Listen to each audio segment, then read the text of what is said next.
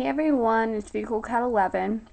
I wanted to tell you about my backup account um, in case I get hacked or something's wrong with this account.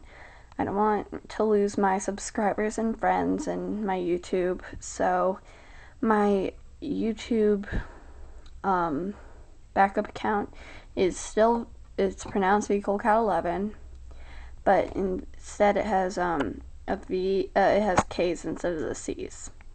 So that's what it looks like. Be Cool Cat 11. We are going to put a link in the sidebar to the channel, so please go and subscribe and friend. We have 17 of you right now, so hopefully we will get more.